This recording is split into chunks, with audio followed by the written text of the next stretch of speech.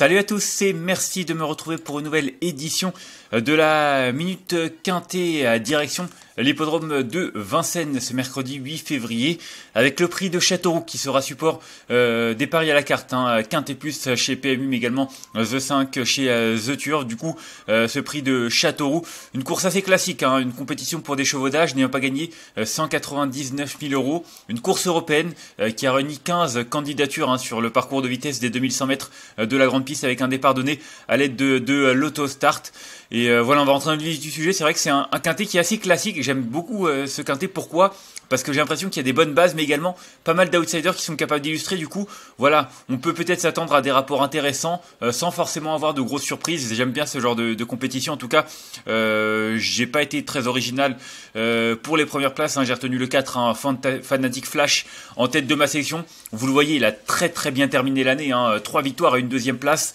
D'ailleurs, on ne l'a pas revu depuis, je crois, le 23 3 décembre et une victoire sur ce parcours, une 11-5. Euh, vous le voyez, c'est son record. Bah, il venait de le battre euh, en fin d'année. Donc voilà, un cheval qui a depuis repris de la fraîcheur. Regardez cet engagement, 198 000 euros, 250 de gains. Il a 750 euros du plafond et de la limite qu'il faut atteindre. Du coup, je pense qu'on a attendu hein, cet engagement. Ça fait un mois et demi qu'il n'a pas couru, à mon avis. son entraîneur l'avait dans le viseur cette course depuis un moment. C'est un objectif. Il est déféré des quatre pieds comme lors de sa précédente victoire. Il a un excellent numéro derrière les, ailes de l'autostart. Vraiment tout pour plaire. David Thomas, euh, qui le connaît parfaitement puisqu'il vient de s'imposer avec lui. Donc voilà, avant le coup, tous les faits sont au vert. C'est un cheval qui est maniable, qui est, euh, pratique.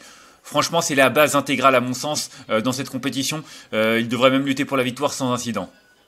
Ensuite, en deuxième position, je suis parti en deuxième ligne avec le 13 Zorowind. Euh, Zorowind vient de s'imposer, enfin lui aussi on l'a pas revu depuis euh, fin novembre, hein, depuis le 30 euh, fin décembre, pardon, le 30 décembre exactement. Il battait Zante Laser hein, notamment. C'était sur ce parcours avec Mathieu Abrivard. Alors lorsqu'il gagnait sur ce parcours, il partait en première ligne. Là, il sera en deuxième ligne. Maintenant, l'avantage qu'il a, c'est qu'il va s'élancer derrière le numéro 4 Fanatic Flash, mon favori. Du coup, c'est un avantage. Ça va lui permettre d'être derrière un favori, derrière un cheval qui a une très belle chance. Du coup, c'est vraiment avantageux sur un parcours de vitesse en plus. Et puis Mathieu Abrivard le connaît bien, hein. c'est lui qui s'était imposé avec euh, lorsqu'il était revenu sur notre sol. C'est un cheval qui reste sur trois victoires consécutives. On connaît hein, Alessandro Gocciadoro, un homme euh, qui est toujours redoutable sur notre sol. Voilà, avant le coup, euh, rien à signaler. Je pense vraiment que c'est un cheval qui est encore un petit peu en retard de gain et qui devrait très logiquement lutter pour la victoire également. Derrière ces deux-là, c'est un peu plus ouvert, ça va être une question de parcours, parce que j'ai vraiment l'impression que les chevaux se tiennent de près. J'ai retenu le 3 ans de T-Laser, c'est pas forcément euh, la meilleure hein, en valeur pure, hein. vous le voyez, un chrono de 1-11-7. La dernière fois, faut vraiment pas la condamner, elle a, un, elle a eu un parcours un peu défavorable, le nez au vent, à l'extérieur, elle a dû se rapprocher, c'était pas forcément évident de faire autant d'efforts, surtout euh, sur un parcours euh, de longue haleine. Auparavant, elle avait gagné, puis elle a terminé troisième hein, derrière, derrière, derrière, derrière Zorowind. Voilà, c'était ici, euh, derrière Zorowind, le 23, euh, le 14 décembre, pardon. Euh, non, qu'est-ce que je raconte? C'était ici le 30 décembre, excusez-moi. le 30 décembre, elle a terminé troisième de Zorowind sur ce même parcours. Là, elle a un très très bon numéro derrière la voiture. C'est vraiment ça qui m'a fait la retenir en troisième position parce que je vous l'ai dit, les chevaux vont se tenir de près. C'est vrai qu'avec le numéro 3, je pense qu'elle va laisser passer l'orage et se retrouver plutôt pas trop mal placée avec, euh, avec euh, sans avoir fait beaucoup d'efforts durant la, première partie de course. Du coup, c'est vraiment un avantage à ce niveau-là et quand les chevaux se tiennent de près, c'est pour ça que je la retiens aussi euh, proche et en troisième position. Ensuite, en quatrième position, j'ai retenu la Célène Bourgeoise qui reste sur deux très très belles performances euh, sur ce même parcours. Hein. Elle a vraiment fini à la vitesse du vent. Euh, je la retiens quatrième. Elle aurait un meilleur numéro. Peut-être que je l'aurais retenu troisième à la place de Zante Laser, comme je l'ai dit. C'est les numéros qui ont conditionné le, choix de mes, euh, mes chevaux. Et c'est vrai que cette Hélène Bourgeoise, elle a très très bien couru à deux reprises. Maintenant, c'est une attentiste. J'ai peur qu'avec là, elle se fasse un petit peu piéger, enfermer. C'est le seul petit bémol. Mais c'est vrai qu'elle a une telle pointe de vitesse que même si elle est un peu loin euh, à l'entrée de la ligne droite, elle est capable de refaire beaucoup de terrain et même pourquoi pas euh, de prétendre à mieux qu'une quatrième place là où je l'ai retenue. Ensuite, en cinquième position, j'ai retenu le 10, hein, Sam The Man, un cheval qui vient d'afficher un net regain de forme. Hein. c'est un cheval qui est sur la montante, euh, qui a été préparé hein, pour ce meeting d'hiver. Pareil, numéro 10 derrière la voiture, c'est pas très très engageant. Maintenant, c'est un cheval de qualité, Johan Le Bourgeois, et puis il est derrière Hélène Bourgeoise, dans le sens où je retiens Hélène Bourgeoise en quatrième position, si je vois une très belle chance au numéro 10, Sam ça me semblait très logique de le retenir également euh, en bonne place. parce qu'il va peut-être pour profiter de l'aspiration de cette Hélène bourgeoise. C'est un bon cheval aussi, Sam The il l'a prouvé à plusieurs reprises euh, sur notre sol. Il a de la vitesse, il l'a déjà prouvé par le passé que surtout, euh, surtout en Suède. Mais bon, je pense qu'avec Johan Le Bourgeois, il a son mot à dire pour une place. Ensuite, en sixième position, j'ai retenu le 5, un Fulmida, peut-être retenu un petit peu loin, cette Fulmida. Euh, je la retiens seulement en sixième position. C'est une jument qui excelle hein, sur le parcours de vitesse. D'ailleurs, euh, je crois que sur ce tracé, elle a couru 8 fois pour deux victoires et deux deuxièmes places. Donc du 50% de réussite dans les deux premiers. Euh, c'est intéressant.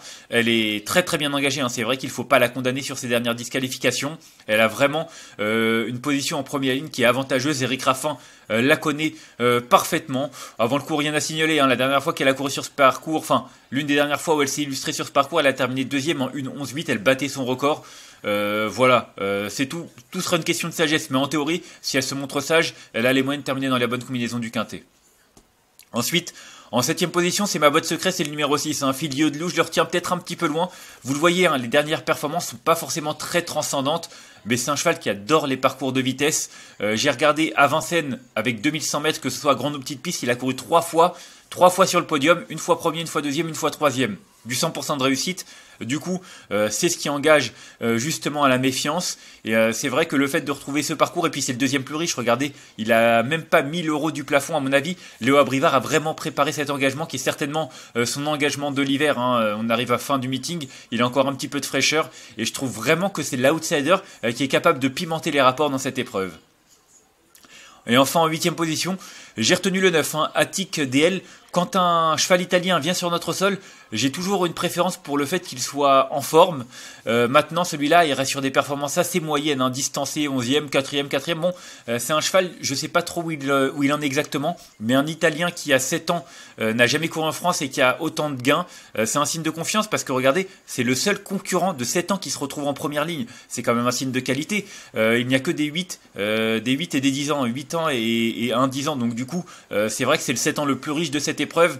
Moi, ça, ça, me plaît, bien. Le numéro 9, un peu moins.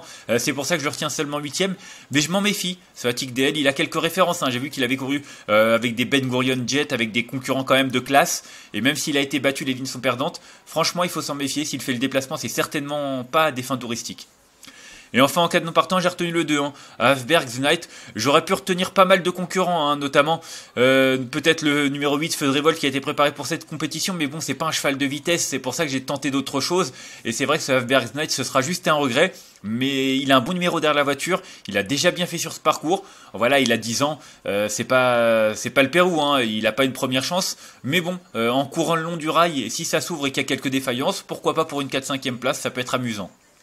On va faire un petit récapitulatif de ma sélection avec le numéro 4 euh, Fanatic Flash euh, que j'ai retenu devant le 13 Zorowind, le numéro 3 Zante Laser, l'As Hélène Bourgeoise, le 10 Sam the Man, le 5 Fulmida, le 6 Filio de Loup et le 9 Attic DL. En conseil de jeu, bah écoutez, pour moi 4 et 13, un Fanatic Flash et euh, Zero Win, c'est vraiment les deux très belles bases dans cette compétition. Derrière, c'est plus ouvert. Euh, derrière, moi j'ai retenu le 3 ans de laser, ça va être une question de parcours, mais avec ce numéro 3, je pense que euh, elle a les moyens de finir dans les 5 premiers, et si ça se passe mieux sur le podium, mais comme j'ai dit, ça va être une question de déroulement de course, et c'est vrai qu'à ce jeu-là, on peut pas forcément le prévoir à l'avance, ça va être l'inspiration des drivers, et qui va primer. Moi, on va faire un petit point sur le quintet plus de ce euh, lundi 6 février, c'était également sur l'hippodrome de Vincennes, hein, le 4 qui était euh, non partant euh, Diabel. Et c'est le 13, Jouvence de Carrel, les favoris qui ont répondu présent pour les premières places. Hein, Jouvence de Carrel devant l'As, Junkie et le 8, Miss Jaja, 3 des 4-5 premières favorites qui sont à l'arrivée. Derrière le numéro 7, Dali Labar qui apporte un peu de piment. Et le 12, Justicia Smart qui remet les pendules à l'heure. Euh, du côté de Nodorbrick, bah, top pronoture sélection qui vous indique qu'il s'écarter quinté avec un quinté qui affichait quand même plus de 118 euros hein, euh, pour 1 euro et puis euh, quelques trios, quelques coups de cœur. Bon, une journée très correcte de la part de Nodorbrick, même assez bonne. Hein. C'est vrai que ils ont fait le taf en indiquant le quinté et puis quelques quelques trios intéressants. En tout cas, vous pouvez les tester. Hein. C'est à partir de 1 euro par mois l'offre découverte. C'est le premier mois et c'est sans engagement. Moi, je vous remercie d'avoir suivi cette nouvelle édition de la Minute Quinté. Si vous avez aimé cette vidéo, n'hésitez pas à la liker, à la partager ou encore à vous abonner à notre chaîne YouTube en cochant la petite cloche. Euh, vous pouvez également laisser votre pronostic en commentaire. Il y a un tirage au sort parmi tous les commentaires chaque mois avec à gagner 6 mois d'abonnement VIP au site turf-fr.com. Moi, je vous retrouve dès demain pour une nouvelle édition. Euh, d'ici là, je vous souhaite de bons jeux à tous. Bye bye.